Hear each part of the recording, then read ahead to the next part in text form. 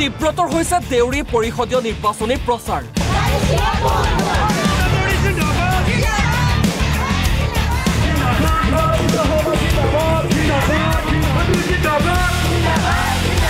ৰথী মহাৰথীৰ উপস্থিতিত প্ৰচাৰে পাইছে নতুন গতি।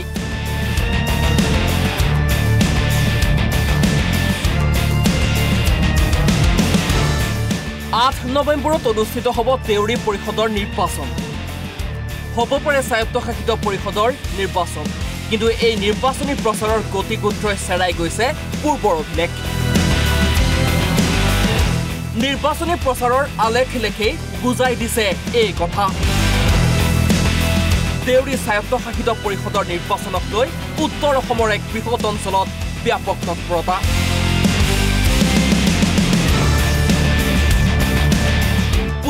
পৰিষদীয় শাসনভাৰ নিজৰ হাতত ৰখাৰ বাবে যুদ্ধংদেহী মনোভাৱেৰে অগ্ৰসৰ হৈছে শাসকীয় বিজেপি। নাৰায়ণপুৰ বিহপৰীয়া বৰদলনি আদিত দেখা গৈছে নিৰ্বাচনী প্ৰচাৰৰ সৰ্বগ্ৰাসী ৰূপ।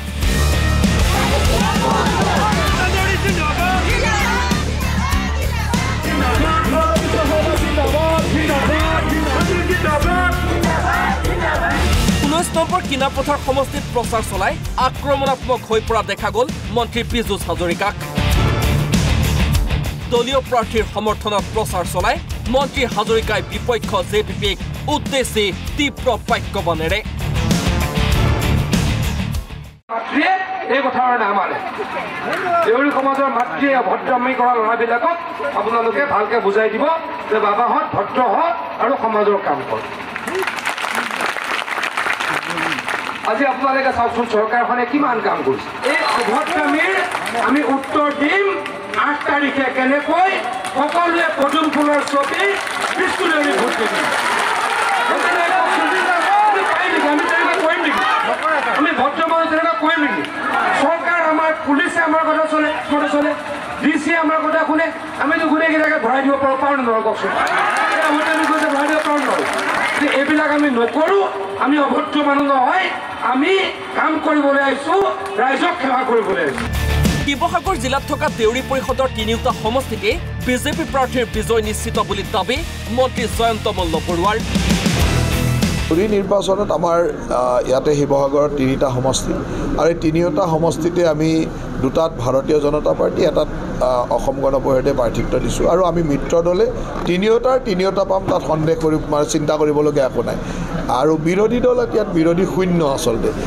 একেদৰে তেৰ নম্বৰ বৰদলনি সমষ্টিতো তুংগত উঠিছে নিৰ্বাচনী প্ৰচাৰ।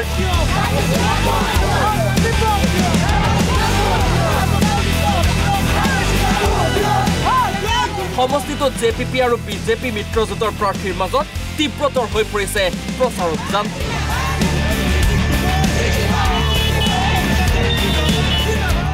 জে পি পি প্ৰাৰ্থী তথা যুৱ নেতা জিন্তুচান দেউৰীয়ে সমষ্টিটোৰ ঘৰে ঘৰে গৈ চলাইছে প্ৰচাৰ। ষোল্ল নম্বৰ বাঁহগৰা সমষ্টিত প্ৰতিদ্বন্দ্বিতাত নমা অগপ প্ৰাৰ্থী নন্দিতা দেউৰীৰ প্ৰচাৰো হৈ পৰিছে চমক লগা।